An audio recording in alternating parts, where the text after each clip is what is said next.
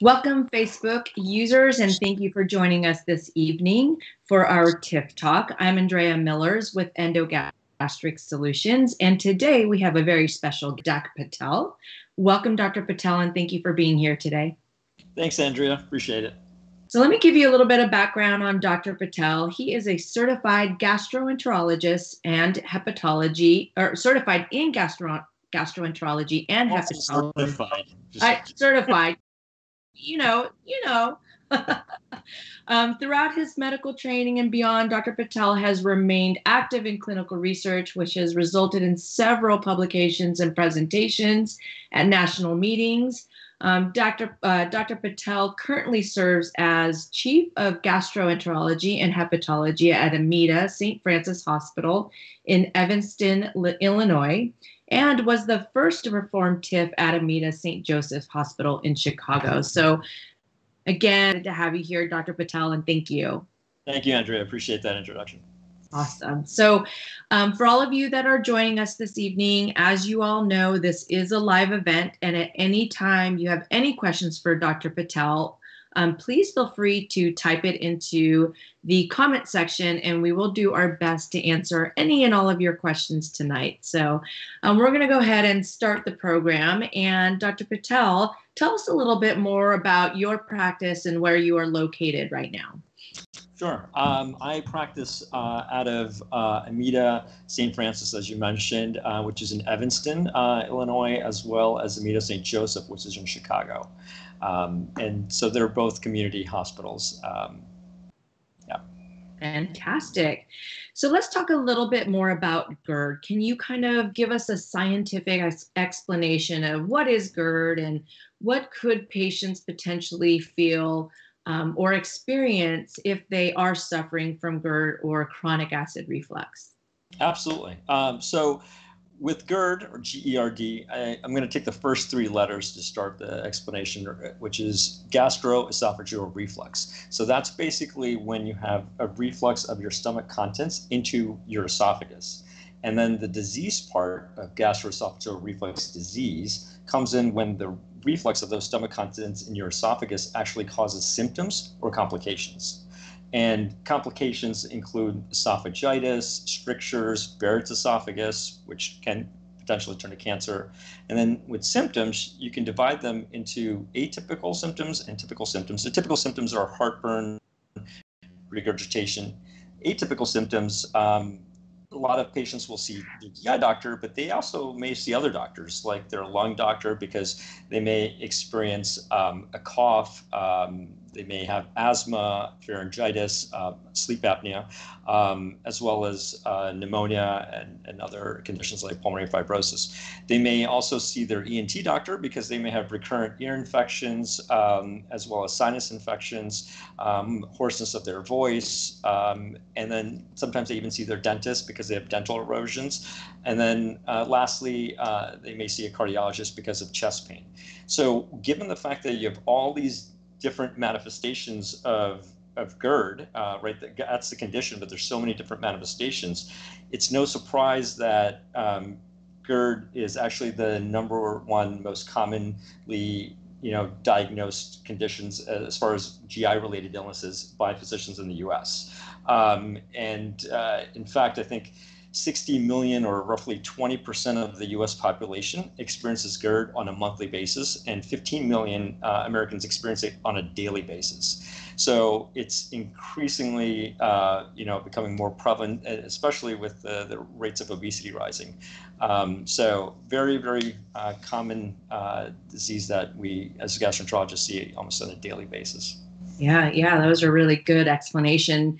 Um, and and oftentimes, um, I I hear about patients going into emergency rooms thinking that they're having a heart attack, and and they come to find out they only need not not that they only have GERD. We don't want to trivialize GERD, but but it ends up being GERD related, right? So, um, and then the other thing too that is interesting is um, patients always wonder is when do I go seek a doctor, right? Because every now and then they'll eat something um, that causes acid reflux, and if if it's like how often, at what point do these patients need to come and, and, get checked by a gastroenterologist or a physician um, to determine is this more than just you know normal acid reflux or is it something more um, more intense if you will? Yeah.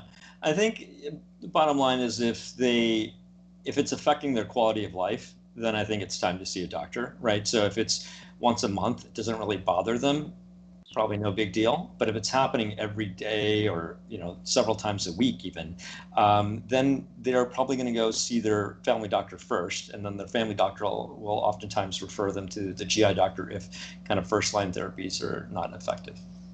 Perfect. Wonderful. Thank you. Uh, so let's talk about managing GERD. Um, as a gastroenterologist, you normally, um, initially, if you will, tell patients to do um, to manage their GERD. For example, you know, are there do they need to uh, avert certain foods that they're eating? Are there certain lifestyle modifications? You talked a little bit about obesity. Do they need to change um, their diet or need to lose weight? What are certain things they can do to help manage their GERD?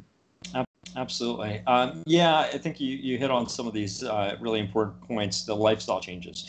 So uh, I think weight management is really key. Um, you know, there's been a prospective study that was done that showed that um, it, all the participants in the study, if they actually completed the weight loss program, 81% of them had a reduction of their symptoms, and 65% had complete resolution of their symptoms. So weight loss is incredibly effective, um, and so that that's the, the first thing. And then um, the other things that have been proven to actually reduce acid reflux is when you eat a large meal. Um, what I mean, you should kind of aim to eat smaller meals because the larger the meal, the more acid gets released uh, to digest that meal. And then there's a potential of that acid then coming up and refluxing into your esophagus. And then when you do eat, you want to make sure you wait at least two to three hours before you lie down. That just gives the stomach the chance to empty itself.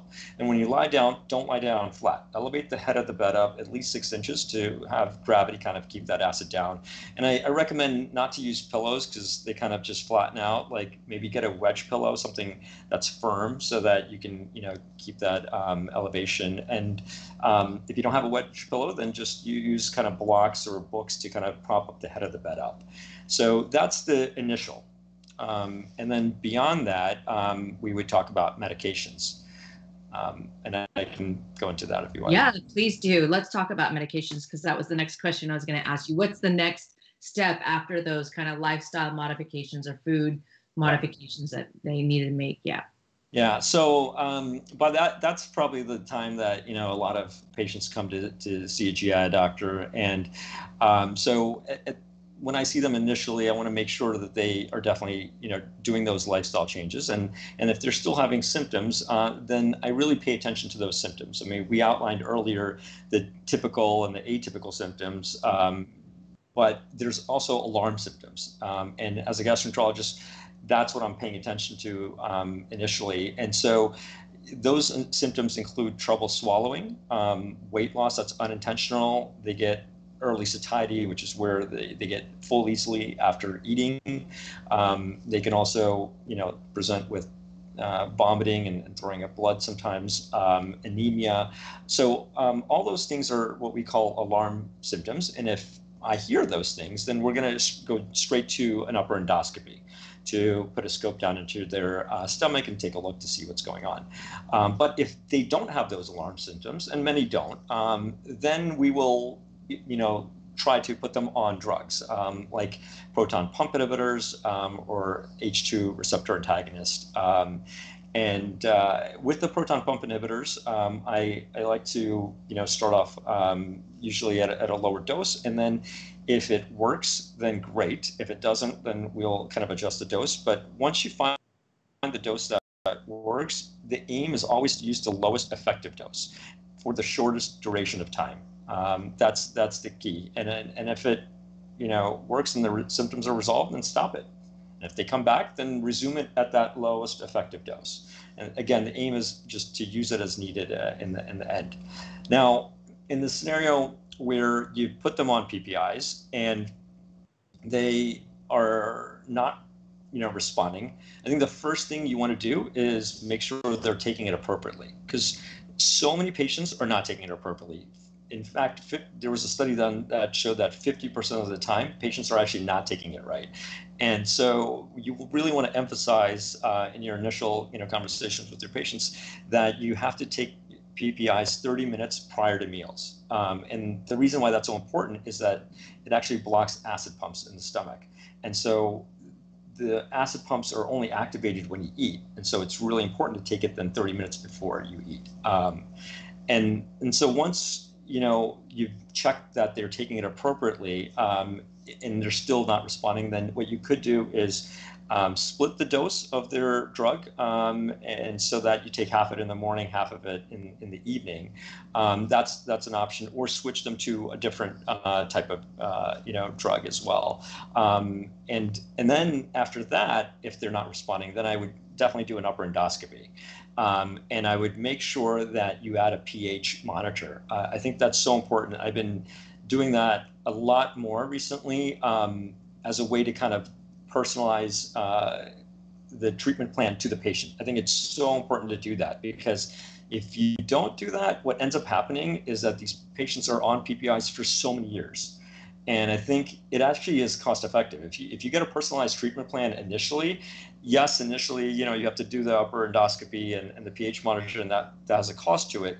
At, at year one, that cost is actually neutral. And then beyond that year, you actually save money because you haven't kept this patient on so many years of you know PPIs, and that can have some you know consequences. But once, let's say you do the upper endoscopy and uh, you do the pH monitoring. If it shows that they have acid reflux, then you want to treat them accordingly. Um, by optimizing their medications or anti-reflux procedures, which I'm sure we'll talk about in just a bit. And then if they don't have acid reflux, that's good to know because then you don't have to keep them on these medications forever, right? And you can make that change early on. And they more than likely have functional heartburn um, at that point, or they could have bile reflux or non-acid reflux. And functional heartburn is essentially visceral hypersensitivity. And, and the way to explain that is, you know, you they, they've done a study where they did uh, you know 100 patients that had acid reflux and 100 normal controls. And they found that those that complained of acid reflux and that those that were normal actually had the same amount of acid coming up. So some people just tend to feel it more than others you know? And and i think it's a, it's one of those things where um, you know you're i don't know if you're wearing a watch right now but it, there you go. Got your apple watch on. Yes. And so, you know, if I didn't ask you about that, I don't know if you would have known that you were wearing a watch, right? Because your brain is constantly turning off that signal, right? And so, what happens in some people is that acid is coming up, and most of us that all of us have reflux that comes up, but we don't sense it because our brain is constantly, you know, suppressing that signal. But in some people, they actually it, the brain doesn't do that, and they they sense it, you know. Um, and so then there's things called neuromodulators that uh, we can prescribe to our patients um, that can raise the threshold so that they don't experience that pain um, or, or, you know are so sensitive to it. Um, so yeah, it's it's really interesting stuff because you know it gets me excited because when you have a treatment plan like I just outlined, then you know exactly what to do in each scenario and you don't keep patients unnecessarily on medications that they don't have to be on because there's long-term consequences to these. Yeah, that's fantastic. I, I love that explanation. Um, I'm, I'm not sure we've ever had any physician explain it in that in that sense. So it's it's really nice, a for me to hear, and then also I'm sure that um, appreciate it as well. We actually have a lot of questions that have already popped up. So um, before we go on, I'm gonna I'm trying to get through some of these so um, we can get them answered. Sure. Uh, let me get to the top up here. Okay, so Andrew is asking, what's the advantage of a TIF with hiatal hernia repair for making my reflux better? So maybe this is a good segue to start talking about um, the TIF. Pers- well, actually, yeah, let's go ahead and talk about the TIF procedure now. Um, you can go ahead and answer that question, and then maybe we'll talk about other treatment options as well. Sure. Um, so, so TIF procedure or transoral incisionless fundoplication is uh, essentially a, a, procedure where um, we are able to um, narrow the opening from your esophagus to your stomach um, and kind of lengthen that valve. Um, and the advantage of this procedure is that it's not taking any other surgeries that you may need, um, you know, off the table. Um, so it's kind of a, a, bridge between medications and kind of traditional surgery. Um, and in particular, to Andrew's question, um, a lot of patients have a hiatal hernia. What is a hiatal hernia? A hiatal hernia is, um, well, basically there's a di- uh, muscle called the diaphragm, and that's uh, kind of this tented muscle that separates your chest cavity from your abdominal cavity. And uh, in that diaphragm, there's a hole. Uh, there's two holes, one for the aorta and one for the esophagus.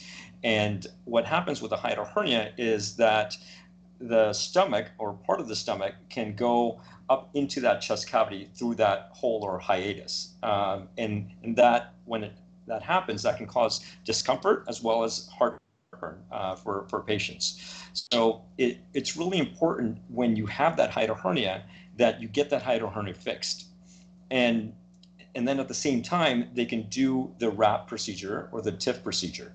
And if you just do one, it's you're only attacking 50% of it. You're, the, uh, the benefit or the efficacy is only 50%. You really should do both, especially if it's a large hiatal hernia more than two centimeters. If it's a hiatal hernia less than two centimeters, it actually automatically gets repaired if you do the TIF. Um, and that basically is done all with a scope. Uh, there's no incisions on the outside, inside, um, there's no scars. And basically just take the scope, pull the esophagus down, wrap um, the stomach around the esophagus partially, and then we put in these fasteners in place to kind of hold it. So. Perfect. Wonderful. Thank, wonderful. Thank you for that. Uh, so let's answer a couple more questions. When is it time to consider uh, discontinuing my PPIs and have an anti-reflux procedure? Um, when you get that EGD pH study, right? So if you get that and it shows that you do not have acid reflux, you don't, your, your pH is above four, then your issue is not acid reflux. It could be functional heart. Um, you know, or if you do have acid reflux, maybe you're refractory to PPIs. Um, you know, actually, um, 5% of all Caucasians are hypermetabolizers of PPIs. So some patients just will, PPIs won't be as effective. And so um, that's when anti-reflux surgery would be a good option for those individuals. Okay. So this is going back to kind of um, PPIs and long-term side effects, or could PPIs be, you know, either harmful, either harmful for me um, in the future or long term. But this question is um, Am I at a higher risk to get COVID if I take twice daily PPI? Kind of like the elephant in the room right now, right? Um, yeah. With COVID. So I know that there was a study that just came out uh, recently, or there was an article that came out on Time about PPIs and COVID risk. So, what are your thoughts on that? Yeah, no, I think that's a uh, obviously a pertinent question. Um, that's on a lot of my patients' minds. And uh, there was a study that came out earlier this year. Um, now, this was a study that was a prospective, which is a good thing, um, study that was, but it was an observational study. So when it's an observational study, the best you do is make a association between two things. You cannot prove causality that one thing caused another. So th- this study um, actually was done. Uh, it was more of a, kind of a, a survey, um, I think, with over 3,000 patients. And uh, what they found essentially was that those individuals that took PPI twice a day had a 3.7% increased risk of getting COVID. And those that took PPIs once a day had a 2.2 uh, percent increased risk uh, of, of getting COVID. And interestingly enough, those that took the histamine receptor antagonist did not have an elevated risk at all. And that was kind of fascinating. And there was a, a different study uh, altogether that actually looked at famotidine um, in the hospital setting and mortality. And I thought that was kind of uh, fascinating. They actually showed that those that were on famotidine in the hospital um, with COVID ended up doing better than those that were not on COVID. And the reason could be that they inhibit histamine. Um, and when you learn about COVID, what ends up happening is there's this thing called a cytokine cytokine storm. Basically, a whole bunch of inflammatory markers get released, and that can result in um, hypoxia, difficulty breathing, organ failure, uh, sepsis, death. Um, and so it's all started by this cytokine cytokine storm. And so with famotidine, it, it inhibits histamine, and therefore it could potentially inhibit that cytokine storm. Um, and so, yeah, a lot of interesting data coming out uh, as it relates to PPIs and histamine blockers. Yeah, yeah, wow. God, you could talk about that all day, and I'm yeah. just that's so intriguing. Um, okay. um, I, one last point I wanted to make with yeah. that is, is, the bottom line. I think with a lot of these, you know, studies as well as kind of just all the things you hear about long-term PPI use, uh, is that I think you know when you're when you're thinking about it, you want to make sure that you're using the PPIs appropriately. I think we're using them too much, and and then we're u- keeping them on for too long. So you want to use them in the right patients that need it, and that goes back to that kind of personalized approach that we want to talk about earlier. Is just make sure you use it in the individuals that truly need it, and then you don't keep them on it for more than they need to be on it. You know, uh, and I think that's kind of the the big takeaway with a lot of these studies. Fantastic. Yeah, thank you. Uh, let's uh, let's talk a little bit about other treatment options. Currently, what are the treatment options? You did talk about uh, the TIF procedure. You know, there's the Nissen. Maybe you can talk about the difference of that on and any other procedures that are out there currently right now to treat um, acid ref- or GERD, if you will. Sure. Um, yeah. In terms of, uh, and, and that's an interesting point. I mean, in the 1980s is when the histamine receptor blocker actually came out first in 1980, and 1988 is when the PPI came out. When these drugs came out, eh, the shift actually uh, went from doing surgery, which is the Nissen, right? That that's what was initially done. Basically, the Nissen is where they take the stomach and wrap it around the esophagus 360 degrees, and it's very very effective at blocking acid um, from coming from your stomach into your esophagus.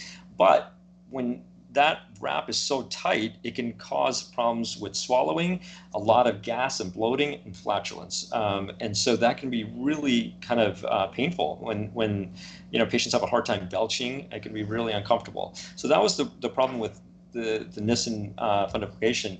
Um, but with the advent of these drugs. Um, you know, it shifted uh, from surgery to, to drugs. But now it's interesting because now we have a, a, a swing in the pendulum back towards surgery. And, and the reason for that is one, we talked about is that there's uh, long term consequences potentially to, to PPI use, right? And then the second is that we've gone from this kind of uh, open surgery like Nissen requiring, requiring incisions to minimal incisions and now to no incisions with the right. TIF, right? Yeah. So those two factors have kind of, you know, um, allowed us to do more uh, surgical interventions, which really addresses how GERD happens in the first place. It, it has a lot to do with um, the visceral hypersensitivity, but also the anatomy uh, and, and, physiology. And, and that portion is really addressed by um, these anti-reflux surgeries uh, like Nissen um, and, and TIF. And uh, the other one that a lot of people will talk about is the LINX procedure. And essentially that's uh, where they just take a uh, a magnetic um, bracelet and, and, place it around your esophagus. And the idea there is that it will open um, to allow the food to come through from your esophagus into your stomach and then kind of close um, so that it prevents acid from coming back up. Uh, so that is an option. Um, the one thing with that is that there are some suggestions that it can kind of cause erosions. Um, so um, that's just something to, to be aware of. Okay, perfect. Thank you very much. So uh, let's ask answer a couple more questions. They're, they're coming in. They're coming in. okay. So um, Steven's asking. I have um, LPR basically. Is there anything new in the treatment taking omeprazole forever? Or he, it sounds like he's been taking omeprazole forever. Yeah, right. Yeah. Um, you know, I, I think that these options that we're talking about is something that you should consider. Um, you know, in, in, PPIs, when you look at how it affects cough and hoarseness of the voice, actually have not been effective um, traditionally. So he's probably suffering because if that's the type of symptoms that he has, then it, you know it's probably not doing much for him. But um, otherwise, if it's if it's just reflux that's kind of coming up um, and causing laryngitis, um, and a lot of you know patients have kind of microaspiration uh, as well, and leading to you know issues with pneumonitis and, and sleep apnea as well, because every time that little bit kind of you know uh, acid travels up and kind of dips into your vocal cords, it wakes you up, and and so. Um, as I stated earlier, all of these are different manifestations of the same condition of reflux contents uh, from your stomach going up into your uh, esophagus. So, you know, that has to be addressed. Um, if it's an anatomic issue, then the treatment approach is an, anatomic with surgery. Right, right. So Chanel is asking, can you get the TIF even if I don't have a hiatal hernia? I have stage three GERD and LPR. Yeah, absolutely. Um, it's that's called a straight TIF, um, and basically it, it's uh, done. Probably it takes about 30 to, to 45 minutes to do that, um, and you can actually go home the same day potentially, depending on how you do after the procedure. Uh, but absolutely, if you don't have a hiatal hernia, or if you have a hiatal hernia that's small, less than two centimeters, a straight TIF is the way to go. Um, you only do the combination when you have a hiatal hernia that's more than two centimeters. Perfect. Thank you. Uh, Karen's asking, Dr. Patel, please talk more slow, slowly when sharing information. I guess you're talking really fast. Um, so sorry, I was like, wait, I'm, I'm hoping it's a really interesting question.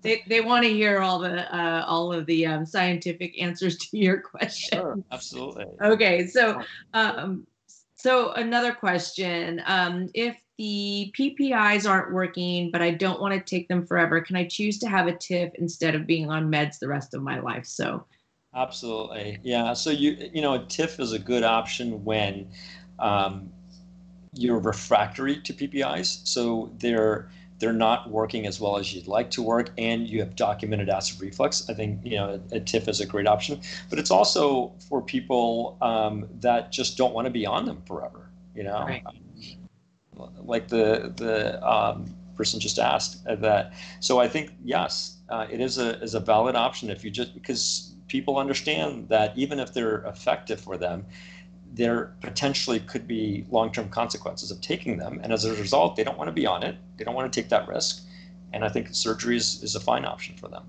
Perfect. Yeah.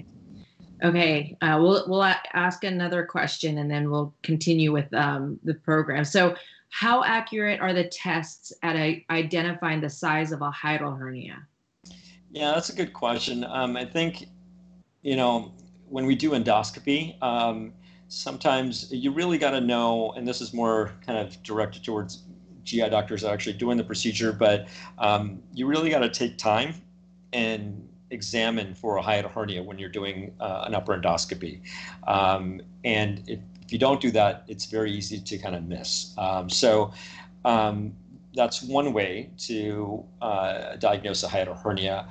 But oftentimes before I schedule a patient for TIF, um, I will get an esophagram because it will either you know confirm what I saw uh, up with the upper endoscopy, um, you know, or it may tell me a different result. And um, a lot of times, you know, it will confirm it, but it'll it'll actually suggest that the hiatal hernia is much larger than I had anticipated when I did the upper endoscopy.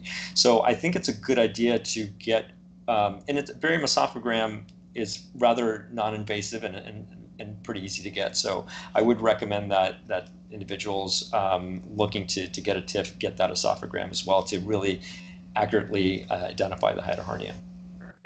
Thank you. Let's talk a little bit about the TIF procedure and and um, you talked about how it works. Let's talk about what can a patient expect the day of the procedure. Um, they're going to come in. Um, what you know, what can they expect when they come in for their TIF procedure? Yeah. Um, so when they come in uh, to the hospital, um, you know, if it's it depends if it's a hiatal hernia or, or a straight TIF. Um, but if it's a straight TIF, they will just come into the endoscopy suite and we will um, talk to them in advance and let them know what the what we're going to be doing. Uh, there's going to be an anesthesiologist that will put them to sleep. Um, and uh, once that's done, then we'll start uh, the, the procedure and they will not know any of this happened. Um, you know, they'll wake up and they'll be like, all right, when are we getting started? And it's already kind of, you know, been done. Um, and uh, patients tolerate the, the TIF procedure uh, pretty well. Um, you know, you do have the risk of endoscopy that you would have with any procedure, which include infection, bleeding, perforation, less than 1%, 99% safe. Um, a lot of times, though, immediately afterwards, patients will experience uh, substernal kind of discomfort because of the uh, irritation to muscles uh, uh called the crura. Um, and then sometimes they may even get shoulder pain because uh, of irritation to a nerve called the phrenic nerve that innervates that diaphragm that we talked about earlier. Um, and so, uh, for the most part, it's well tolerated. They don't get that swallowing or the gas and bloating and the flatulence that they get with the, the Nissen as much. So that, that's a nice thing. Um, yeah. and, and it's it, and maybe we'll touch upon this later, the effectiveness of TIF. Yeah, yeah. Well, well, go ahead. Why don't you talk about the effectiveness of TIF? Yeah, no, there's a, a, trial that came out, the Tempo trial, and uh, it actually has five-year data, and so that's that's pretty uh, incredible in, in the sense that a lot of these other procedures um, haven't been along. Uh, they just haven't made it to five years. So the fact that TIF has been around, I think, since uh, 2007, uh, over 25,000 TIF procedures have been done, right? And so this study uh, looked at five-year data, and they found that um, at in terms of effectiveness to reduce troublesome regurgitation. At year one, um, it was 88% uh, effective at, at, reducing it. At year three, it was 90%, and at year five, it was 86%. And essentially, two out of three patients at the end of five years still remained without daily PPI use. So, rather effective. Fantastic. Wonderful. You're getting lots of questions, Dr. Patel. this is the most questions I've ever had on a TIF Talk. But let's get through some of them. Okay. So my doctor wants to redo my Nissen. Can I get a TIF instead? Um, I don't know if that's possible. So you, they want to. So yes, I, I would say uh, it is possible. So sometimes Nissens will kind of loosen up with time, um, and it's really actually TIF is perfect for that in the sense that um, you can just go in with the scope and tighten it up, um, and it's actually really easy to do that. Um, so I think instead of getting a, a you know whole new Nissen where you're you're surgically kind of you know open, uh, it's much easier I think to do a TIF just to tighten that up a little bit. So I, th- I think TIF's a great option in that situation. Perfect. Uh, Catherine's asking, why do I experience burning sensation in my upper stomach between the middle chest? Um, that just sounds like heartburn uh, to yeah. me. Um, just what we described earlier of, of reflux uh, contents uh, from your stomach into your esophagus. Yeah. Lawrence is asking, how often does TIF eliminate symptoms and the and the and end the need for medication?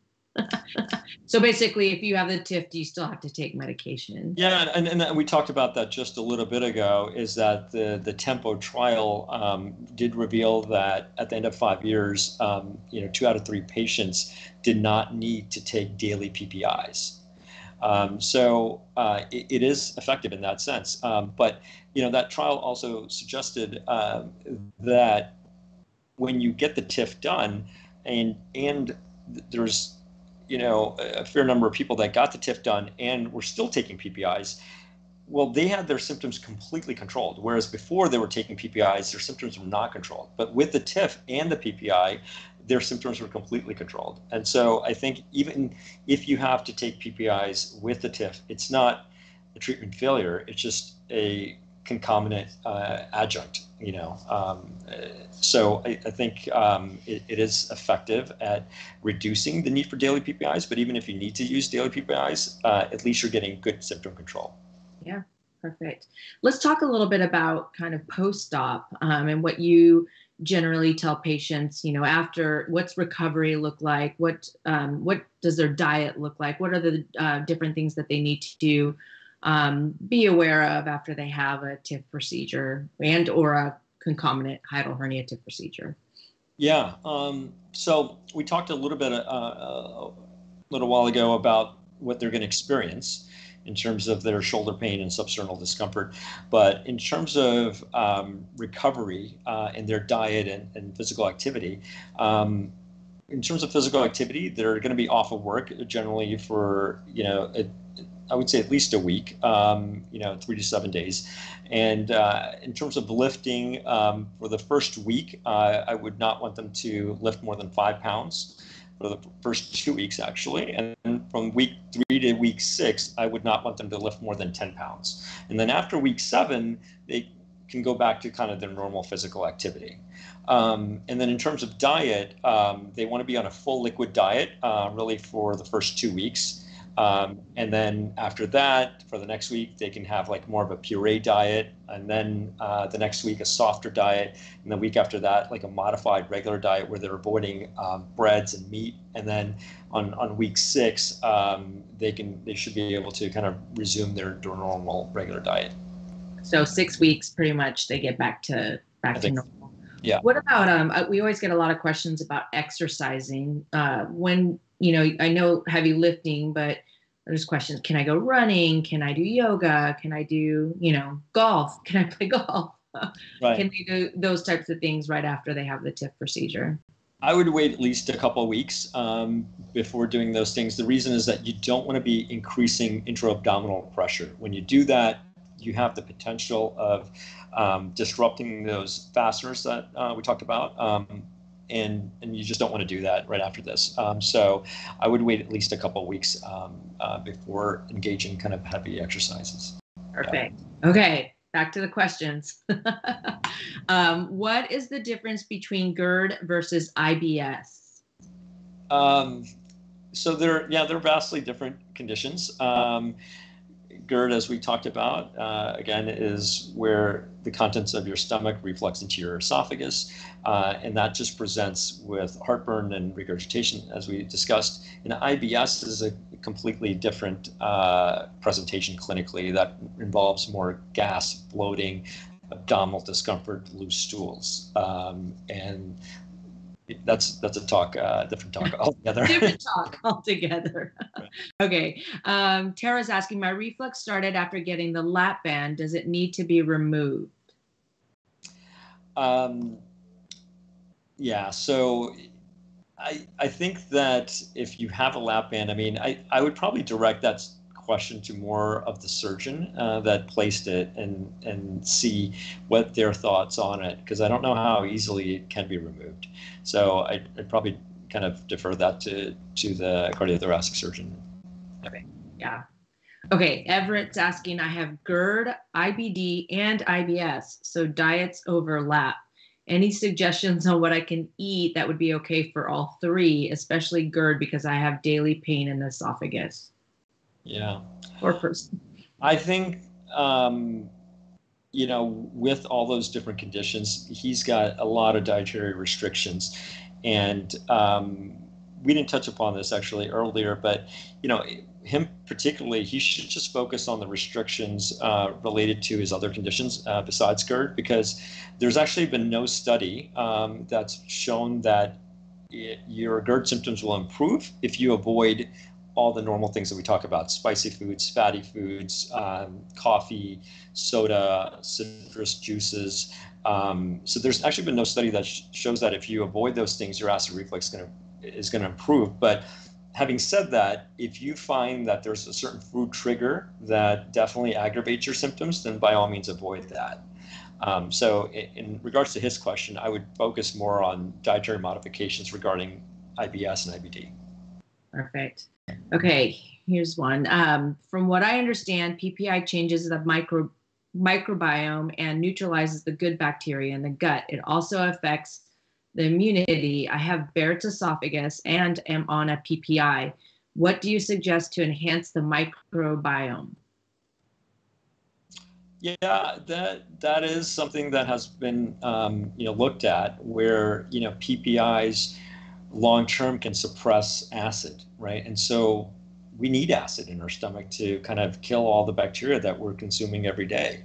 So if we have long-term acid suppression, um, all that bacteria that are, are, entering our systems will then you know get into your small intestine um, where they normally otherwise wouldn't have and that can produce small intestinal bacterial overgrowth um, so th- that definitely is a concern um, and that's why ppis then have been kind of potentially linked to different enteric infections um, c. diff pneumonia things of that nature.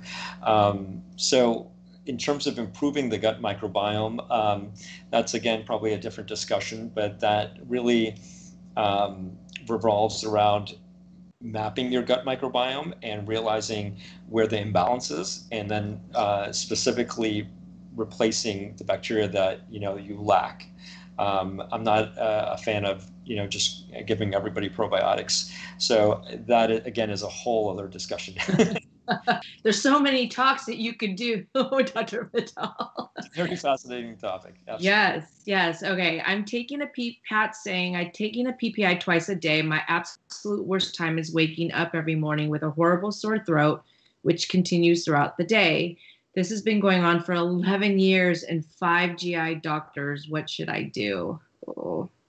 Um, yeah, then you definitely. I mean, I don't know what he's had done, but I mean you need formal evaluation. This is exactly what I, we were talking about earlier, right? You have yeah. patients that have these symptoms and they've been on PPIs forever like we need to tailor our, our approaches uh, to each patient individually and personalize it. So, you know, I would want to gather data. I want to, I would want to get a pH study on this uh, individual and figure out exactly what's happening. Do you have acid reflux? Do you not? Do you have bile reflux? Do you have functional heartburn? And then treat it appropriately. Um, so, my advice to him would be to get uh, a pH impedance study. Um, and uh, wherever he is, you know, um, I would I'd recommend he get that and then go from there. Yeah, Maybe find a new GI that can can do that for, for them. Yeah. Right. Okay. Uh, one last question, and then we'll kind of conclude over here. What is the connection between GERD and belching, and what is the solution for belching? That's an interesting question because I hear a lot of patients, even after um, having the TIF procedure, they they increase in belching. So, so, your comment on that? Yeah, um, you know, I actually had a patient today um, that kind of presented um, with belching. Um, it, it, it is part of the the you know symptomatology associated with this disorder uh, of, of reflux disease, um, and it does not traditionally respond to PPI use. Um, belching, uh, there there is a medication called baclofen that I would recommend for that individual that um, does help with uh, belching uh, as well as a, cough um, that is from um, reflux disease. Uh, but essentially, belching is just aerophagia, which basically means you have too much trapped air, um, and that air's got to come out. And so, you know, that that's what belching, burping is. It's just a release of air. Um, so if you have increased intra-abdominal pressure um, and you're taking in carbonated beverages or, or, you know foods that get fermented easily, then that air is going to get produced and then you can have um, belching that can occur. Perfect. Thank you. Okay, one last question, I promise. This is a good one.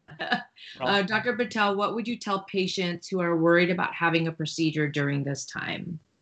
Um, yeah, I think there's a lot of people out there that are worried. I mean, we're we're having another rise, unfortunately, of COVID, and so um, I would say that if you are having symptoms, uh, you're concerned about your symptoms, uh, and you need a procedure, then I think um, you know there are inherent risk. I mean, I, I can't deny that, um, but at the same time, now is probably a safer time than ever in, in the sense that we are taking so many precautions for every procedure we get done, uh, we, we do for our patients. So every patient that comes in for a procedure needs to get COVID tested 72 hours in advance. They have to quarantine until they come in, and then every single person that comes through the hospital actually gets screened, um, you know, uh, and asked about their symptoms and their temperatures taken every day. Um, we're all wearing surgical masks um, and N95 mask uh, throughout the hospital. We're, we're, social distancing. We're having gowns. So there's so many precautions that are being taken right now um, that you know it's in some ways a, a safer time um, to do it than when things get relaxed and we stop doing these things. So, right, right. Yeah. And are you currently um, at your practice doing tele telemedicine or telehealth? We are. Yeah, we're doing um, you know a lot less than when you know COVID first hit back sure. in March and April, and uh, but um, absolutely, I'd probably do one or two televisits a day. Um, so yeah, it's it's an option for patients. Yeah, wonderful. Uh, so to conclude, kind of, do you have? So how long have you been doing the TIF procedure now? Um, probably about, I would say like a year at this yep. point. Yeah. Okay. And um, of those patients that you've TIFFed, if you will, um, what what has been the response, or you know, how how are they post-op and and they're after they're recovered? Um, are they are they doing well? Um, kind of give us a. Do you have any patient stories that have been fantastic? yeah, absolutely. Um, you know, majority of them have, uh, I would say, um, and you know, it's the best thing is probably when I stop hearing from the patients um, because they're doing well. you know, right. Reason for them to, to follow up. Um, but um, yeah, I, a lot of a lot of good success uh, with TIF. Um, you know, uh, I, I usually keep my patients on PPIs um, even two three weeks after TIF, and then I take them off of it, and then it's just it's really incredible to kind of have the patient follow up after that point and they're like i've gone a month and i haven't had to use a ppi yet. And it's it's really rewarding to kind of hear those stories uh, because it, this is such a you know a disturbance to a lot of people's quality of life. So to get that back um, you know is, is really awesome to, to be able to do that for people yeah. yeah it's incredible uh, when i talk to a lot of these patients and and hear their story you know their journey from years of taking ppis or years of suffering and then as soon as they're done you know they get the TIF procedure and like i just don't have i can eat like right. it's, it's a world of difference um, yeah. it's amazing to hear these patients and to hear the stories so. yeah i have glasses now but um, not a great example but i did uh, yeah first came out, right? And like it was the coolest thing because I, I got the LASIK done and I had glasses my entire life. And then you actually have to follow up the next morning when you do LASIK. But yep. then you, you, drove there without glasses. You wake yep. up and it was like the coolest thing, you know? Yeah. So it's that feeling where like, oh my God, I don't have to take PPIs every day. This is yeah. Great. Yeah. Yeah. And they, you know, it's, it, they were pris- imprisoned by it. You know, they couldn't even go out to eat or go on vacation if they forgot their tums or their PPIs. It was uh, they would have to go run and get it. It's it's incredible. Yeah. It's incredible. So, um, any last uh, um, advice that you'd like to leave to um, the viewers that are watching um, and to anybody um, that may be considering, you know, the TIF or any other type of anti-reflux procedure? Yeah, I mean, I, what I would say is kind of what we um, harped on earlier is just this um, idea of, of, personalized medicine. Um, really, you know, um, talk to your doctor, um, find a doctor that kind of takes that approach uh, and tailors the therapy towards you. So, you know, you have an idea of exactly what's what's happening with you and and what the right treatment is because PPI is not the right treatment for everyone. Um, so you just need to know when it's used, when it's not, and when anti-reflux surgery is needed. Because uh, is also not the right procedure for everyone. So it just has to be tailored towards the individual. Uh, and when you do that, that's when you get the best success. So personalized medicine is, is my uh, recommendation. I love that. I love that. Thank you so much. And again, if you're you're located in Evanston, is that right? In Evanston okay. and also in Lincoln Park in Chicago. Okay, fantastic. So if any of you are watching and you're in the Chicago area, um, you can go visit uh, Dr. Patel. And I believe we have his phone number and address um, listed. So uh, please feel free to contact his, his office. They also do telehealth if that's something you're uh, more comfortable with, uh, especially for initial consults. Um, if you're not in the area, uh, you can visit gerdhelp.com there is a physician finder there, and you can type in your zip code, and it, uh, you can find a physician um, that uh, offers the TIF procedure. Um, again, Dr. Patel, we can't thank you enough for joining us this evening, um, taking the time to uh, discuss uh, GERD and personalized approach to GERD and also um, the TIF procedure. So thank you so much. And everybody that's watching, thank you for joining us and asking questions. And uh, we'll catch you next time on our next TIF Talk. So have a great evening and stay safe. Thank you, Dr. Patel. Thanks, Andrea. It was fun. Thank you.